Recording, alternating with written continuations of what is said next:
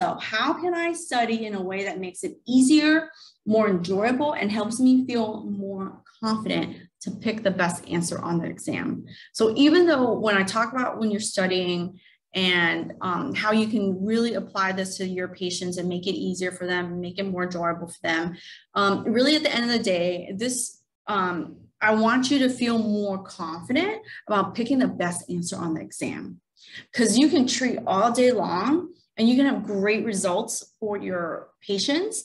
But at the end of the day, if you're not picking the best answer on the exam, you won't pass and you won't get those three letters behind your name, which is why we're here, right? Because it is totally possible for you to get those three letters behind your name. And I want you to get it. So are you ready? Let's get your, uh, your um, papers out and let's create a plan, right? So write on your paper, um, you know, when you are going to become a certified hand therapist. I will become a certified hand therapist in month, year, May 2022. I will become a certified hand therapist May 2022, right?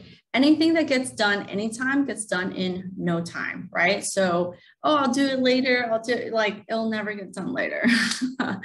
um, that's what I say about, you know, uh, decluttering my house or something like, oh, yeah, I'll go through my closet and like clear out all the stuff that like you won't do it unless you like, um, you know, really painful and you need to get it done, write it down and plan it out. So one of the things that we're going to do today, we're going to calendar it out and then we're going to share it and then we're going to get into the habits that will get you to the finish line. All right. So let's go ahead and we're going to calendar it out. So now that you know when you're going to take the exam, right, we're going to work backwards. What does each month look like, each week look like, and each day look like for you to be on target? So let's be realistic about it. Let's write it out. And then after you write it out, you can put it on your calendar phone, right? So I'm, I'm a big fan of using uh, Google Calendar or whatever so that you can like really map it out. Right. So if, if um, we're going to talk about May, let's talk about working in um, to the exam in May and then working backwards. So if you already know that it's going to be May, then um, we're going to work kind of backwards from that timeline, right? So um, what can you do in terms of like a broader thinking um, across these six months? You know, really build your foundational knowledge. And I talk about foundational knowledge, and it really comes down to anatomy. And it's not anatomy like the way you learned anatomy in school, right? This is functional anatomy. This is like I know like where the muscles um, originate and and end in, not because I know exactly specific on what part of the bone, but really on how it relates back to the injury that that um, that we're helping, right? But it's important to know your foundational anatomy in a way that helps you understand normal movement, normal kinesiology, right?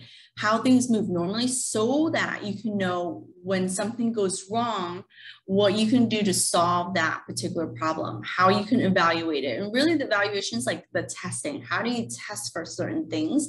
And then the protocols. What are you allowed to do? How long are you allowed to do things? And when can you progress type of stuff? And then taking all that into applied knowledge and then being able to treat somebody and say what would what would i do as a certified hand therapist for the best possible results so what would you do as a certified hand therapist for the best possible results so when you're studying kind of keep these things in mind and then really start picking the most important aspects to know and then applying your knowledge so when you're studying don't think that you need to, to know like every little thing. I mean, that's probably one of my biggest issues when I started. And I essentially had given myself a year. And my first three months were just like a drag um, because I just couldn't stay focused. I couldn't get over the overwhelm. I couldn't get over the really the, the foundational stuff because the like it's just such a thick information that I wish I had someone help me so I can just get through it faster.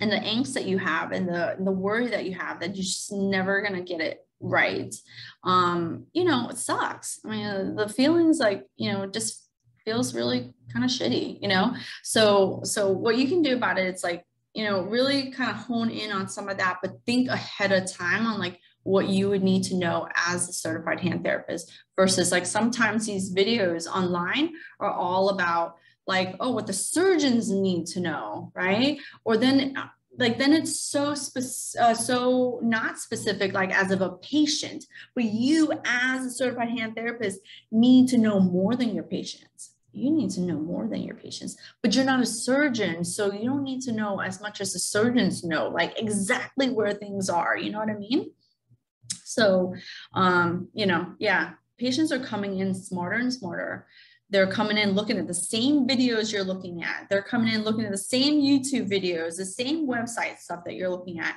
So you've got to level up and like know more than they know. And then because you know so much more, uh, in terms of how to solve their problem, you really can take it to the surgeon and say, yeah, you're the surgeon, but from a rehab standpoint, from a certified hand therapy standpoint, from a how am I going to get your your surgeries to look really good because your patients get the results and they think you did amazing work, you know, um, here's what I'm recommending. That's that's key, right?